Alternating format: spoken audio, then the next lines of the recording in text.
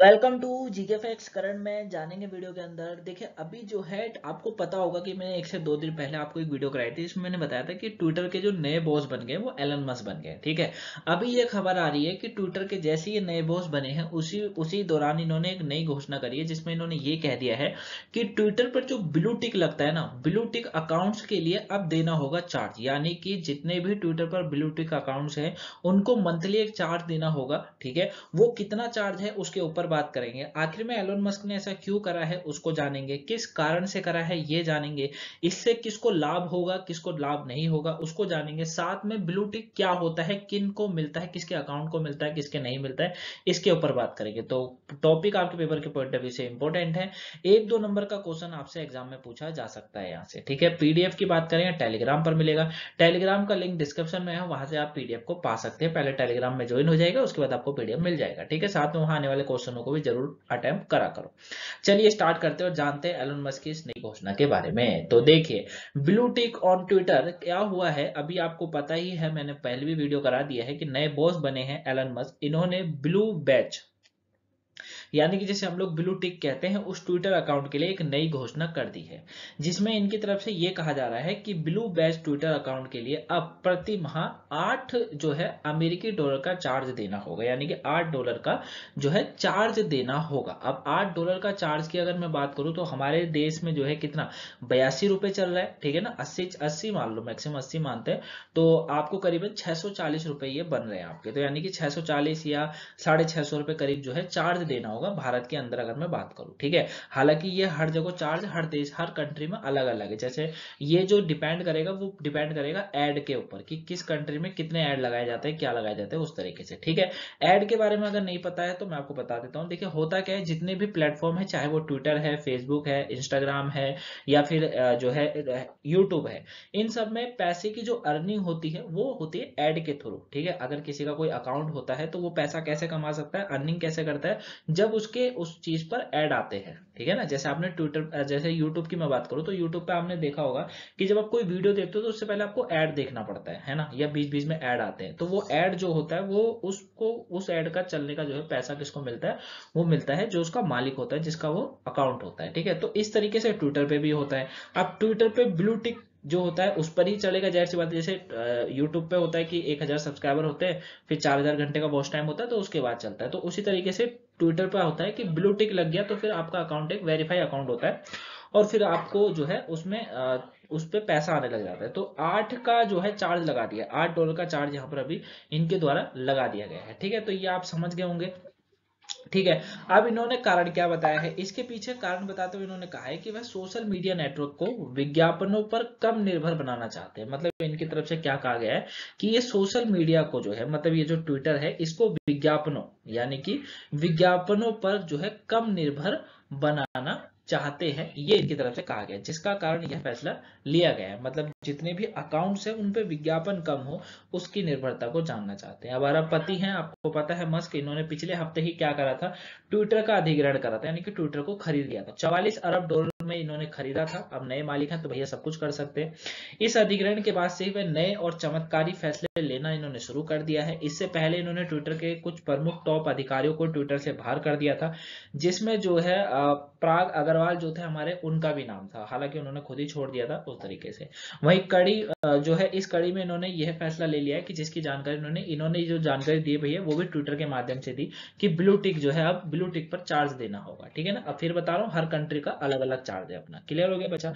आगे देखिए, इसमें आगे क्या कहा जा रहा है? अब ब्लू बैच अकाउंट पर क्यों लगाया गया चार्ज ये एक इंपॉर्टेंट पॉइंट बन जाता है कि आखिर में ये चार्ज क्यों लगाया गया इसके पीछे का कारण क्या है? तो देखिए, इसके पीछे के कारण की बात करें तो ब्लू बैच जो अकाउंट्स होते हैं, उस पर चार्ज के संकेत इन्होंने काफ़ी पहले ही दे दिए थे, ठीक है? क्योंकि आपको पता है कि जब ट्विटर का अधिग्रहण करा गया जब इन्होंने ट्विटर को खरीदा तो काफ़ी समय लग गया ट्विटर को खरीदने में। इनके ऊपर केस भी हुआ, क्योंकि बड़ी डील थी जो इन्होंने बीच में कहा था कि ये कैंसिल कर रहे हैं इस डील को, लेकिन अभी इन्होंने पूरी तरीके से इसका अधिग्रहण कर लिया है। तो ये आपको मैंने पिछली वीडियो में कराया था, अगर वो नहीं देखे तो उसको ज़रूर देख लीजिएगा, है ना? तो काफ़ी पहले से इन्होंने संकेत दे दिए थे कि जब ये ट्विटर को खरीद लेंगे तो बदलाव ज़रूर करेंगे। जैसी बात है, जब किसी कंपनी का नया मालिक आता है तो अपने हिसाब से उसको चलाने की कोशिश करता है। क्लियर हो गया? अब मस्क ने क्या कहा है कि भाई ट्विटर सदस्यों को बढ़ाना चाहते हैं मतलब ट्विटर को और बढ़ाना चाहते हैं और विज्ञापनों पर निर्भरता को कम करना चाहते हैं। ठीक है ना? विज्ञापन पर निर्भरता को कम करना चाहते हैं। मतलब क्या है? मतलब विज्ञापन का ज़रिए जो है, हर चीज़ का एडवर्टाइजमेंट होता है, आपको पता है है ना? आजकल अगर विज्ञापन नहीं तो व्यापार नहीं वाली बात हो जाती है तो वो चीज़ आपको समझनी है ना? तो वही चीज़ इन्होंने भी ये बोला है कि विज्ञापनों पर जो निर्भरता उसी उसे कम करना चाहते हैं, जिसके कारण ये फैसला इन्होंने लिया है। अब आगे आने वाले समय में बताया जाएगा कि ये फैसला सटीक रहा या गलत रहा, वो देखने को मिलेगा। हाल ही में दिनों में ट्विटर में काफ़ी बदलाव को देखने को मिले हैं। ठीक है? और एलन मस्क ने आगे भी ये भी कह दिया है कि यह चार्ज सभी देशों में अलग अलग हो सकता है। ये चार्ज उस देश की परचेजिंग पावर पर, जो है कैपेसिटी पर आधार होगा। मतलब किस तरीके से कितना वहाँ पर एडवर्टाइजमेंट है, उसको देकर होगा। ठीक है? अब बात करें ट्विटर पर ब्लूटेक क्या होता है तो देखिए ट्विटर पर ब्लूटेक अगर होता है तो ये माना जाता है कि उसके द्वारा दी गई सारी जो इंक्वायरी होती है, सारी जो ऑफिशियल वेरीफाई जो ये होता है, उसके बाद जो सारी जानकारी होती है, वो एकदम सटीक होती है, सही होती है, ठीक है ना? याद रखिएगा, जितने भी ब्लूटिक वाले जो अकाउंट्स होते हैं, उनकी जो वेरिफिकेशन जो ट्विटर द्वारा जब की जाती है तो इसका अर्थ यही हो जाता है कि अकाउंट ऑफिशियल वेरीफाई है। ठीक है? और इससे शेयर की गई जो भी जानकारी, वो बिल्कुल सटीक है, सही है, क्योंकि नहीं, ऐसा नहीं हो सकता कि किसी की गलत हो, उसको वेरीफाई कर दिया जाए। अब तक यह सर्विस बिल्कुल फ्री चल रही थी, लेकिन ट्विटर कोई चार्ज नहीं लेता था, लेकिन अब पेड सर्विस इसको बना दिया गया है, ये आपको याद रखना है, ठीक है ना? अब पेड सर्विस से क्या मिलेगी सुविधा, ये भी पॉइंट बन जाता है। तो देखिए पेड सर्विस से ये बताया जा रहा है कि यूज़र को रिप्लाई जो मेशन साथ में सर्च जैसे सर्विस का दावा किया जा रहा है, साथ ये भी बताया जा रहा है कि यूज़र लंबी वीडियो और ऑडियो को भी पोस्ट कर सकता है इसके माध्यम से। पहले ऐसा नहीं था। अब अकाउंट पर एड्स एंड भी सामान्य यूज़र पर कम हुआ, साथ ही स्पैम की भी असर कम क्योंकि आपको पता होगा, जब ट्विटर को खरीदा जा रहा था तो एलन मस्क ने बार बार इस बात का अंडरलाइन बोल थे कि भैया स्पैम बहुत हो रहा है। ट्विटर के अंदर स्पैम देखने को मिला हालाँकि हर प्लेटफॉर्म के अंदर स्पैम होता है, ऐसी कोई बात नहीं है, ठीक है? लेकिन उन्होंने कहा था, मैं इस स्पैम को खत्म करूँगा। तो आशंका कम होगी, ये की तरफ़ से इस पेड कोर्स में बताया जा रहा है, ठीक है तो ये आपको एक तो याद रखना है। ट्विटर ब्लू सर्विस के बारे में अगर मैं बताऊँ आपको तो देखिए ट्विटर ने पिछले साल जून में ट्विटर ब्लू सर्विस लॉन्च किया था, जिससे यूज़र को सभी सर्विस दी जाती थी, लेकिन ब्लू बैच नहीं दिया जाता था। अब नई सर्विस में ब्लू बैच भी दिया जाएगा।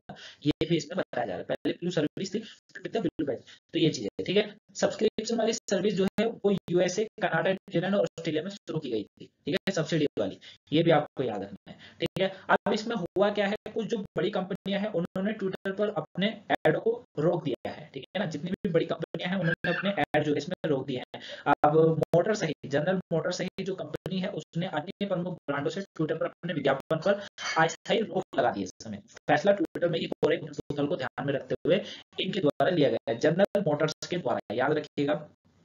दुनिया की सबसे बड़ी विज्ञापन कंपनियों में से एक, ठीक है?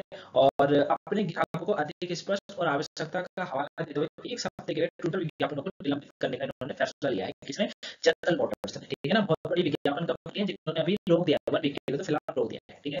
तो आई होप आप इस ट्विटर वाले को अच्छे से जाने होंगे क्या होता है, उसको जाने होंगे, ब्लू बैच क्या होता है, ठीक है? अगर आपको वीडियो पसंद आई है तो वीडियो को लाइक सब्सक्राइब शेयर करिएगा ठीक है? बाकी सारी मेरी बातों को जो है, याद रखिएगा इंपॉर्टेंट है क्लियर है? क्योंकि ये इंपॉर्टेंट बनता है आपके एग्ज़ाम के पॉइंट ऑफ़ व्यू से साथ नॉलेज के लिए भी क्लियर है? तो चलिए, मिलेंगे नेक्स्ट वीडियो में, अगर सुबह की वोकैबुलरी या दो बजे वाला टॉपिक देखो तो उसे जल्दी देखिएगा।